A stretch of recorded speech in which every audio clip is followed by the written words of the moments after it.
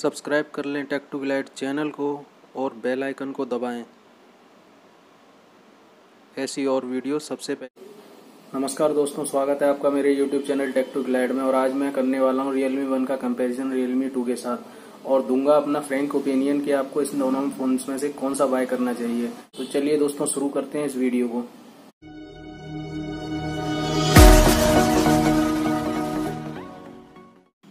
दोस्तों, दोनों ही फ़ोन का डिज़ाइन बहुत प्रीमियम होने वाला है और आप देख सकते हैं दोनों के बैग ग्लॉसी बैग्स हैं और इनके ऊपर डायमंड कट की लेयर दी हुई है।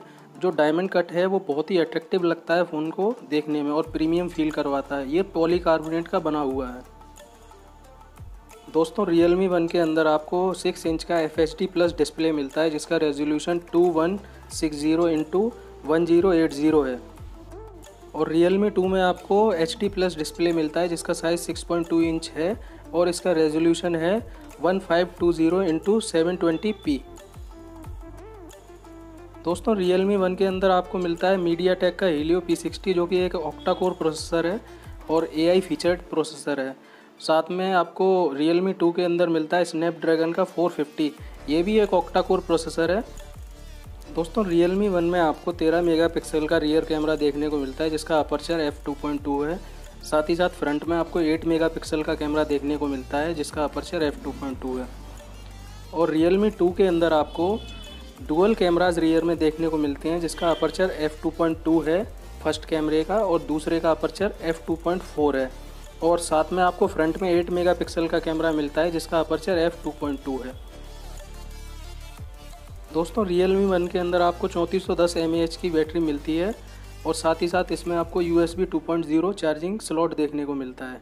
वहीं रियल मी टू के अंदर आपको बयालीस सौ तीस एम की बैटरी मिलती है और इसमें भी आपको U S B two point zero का सपोर्ट देखने को मिलता है चार्जिंग के लिए। वहीं स्टोरेज की बात की जाए तो आपको रियल मी वन के अंदर चार जी बी चौंसठ जी बी तीन जी बी बत्तीस जी बी साथ ही साथ छः जी बी एक सौ अट्ठाईस जी बी वाला वेरियंट देखने को मिलता है और सभी सभी वेरिएंट्स के अंदर में आपको dedicated micro SD card slot देखने को मिलता है। वहीं रियल मी टू के अंदर आपको तीन जी बी बत्तीस जी बी वाला और चार जी बी चौंसठ जी बी वाला वेरिएंट देखने को मिलता है और इसके अंदर भी dedicated micro SD card slot दिया हुआ है और ये डुअल फोर जी को भी सपोर्ट करते हैं दोनों ही फ़ोन दोनों ही फ़ोन्स का ऑपरेटिंग सिस्टम एंड्रॉयड पर बेस है। आपको out of the box Android 8.1 Oreo देखने को मिलता है। साथ ही साथ इसके ऊपर ओप्पो की स्किन लगी हुई है, जिसका नाम है कलर ओएस और इसका वर्जन है 5.1 दोस्तों, बात की जाए सेंसर्स की तो सारे ही बेसिक सेंसर्स आपको देखने को मिल जाते हैं दोनों ही फ़ोन के अंदर। पर रियल मी वन के अंदर आपको जो फिंगरप्रिंट सेंसर है, वो देखने को नहीं मिलने वाला। और दोनों ही फ़ोन्स में फेस अनलॉक दिया हुआ है, जो कि आपको पता है रियल मी वन में एकदम ब्लेजिंग फास्ट था। उसी तरीके से रियल मी टू में भी ब्लेजिंग फास्ट है। और फेस अनलॉक इनका बहुत ही रिलायबल है। ठीक है कि आप यूज़ कर सकते हो सिक्योरिटी पर्पज़ के लिए।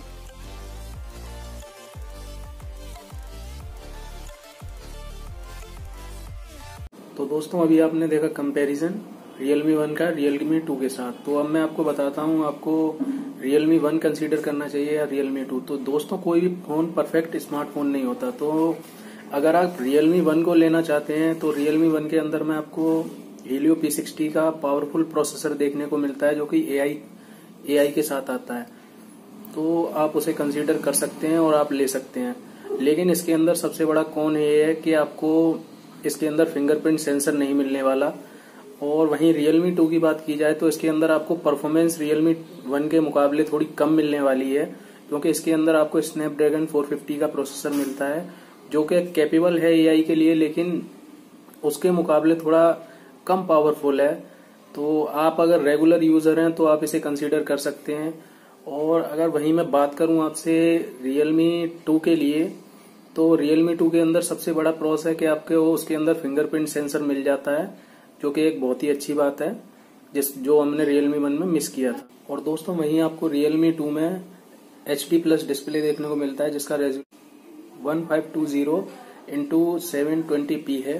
और वहीं आपको Realme वन के अंदर F H D plus display मिल रहा है, जिसका resolution two one six zero into one zero eight zero है। तो डिस्प्ले क्वालिटी आपको Realme वन के अंदर ज़्यादा अच्छी देखने को मिलेगी। तो फाइनली मेरा ओपिनियन ये है कि अगर आप पावरफुल परफॉर्मेंस और एक अच्छा डिस्प्ले देखना चाहते हैं तो आप रियलमी वन के साथ जाएँ। और आप रेगुलरली यूज़ करना चाहते हैं अपने मोबाइल को ज़्यादा हैवी गेमिंग और इंटेंसिव गेमिंग नहीं करना चाहते तो फिर आप रियलमी टू के साथ जा, जा सकते हैं जो कि एक फीचरिस्टिक फ़ोन है जिसमें आपको सभी फीचर्स देखने को मिल जाते हैं। उसमें आपको 19 इस टू नाइन वाला डिस्प्ले भी देखने को मिलेगा। तो धन्यवाद दोस्तों मेरी इस वीडियो को देखने के लिए।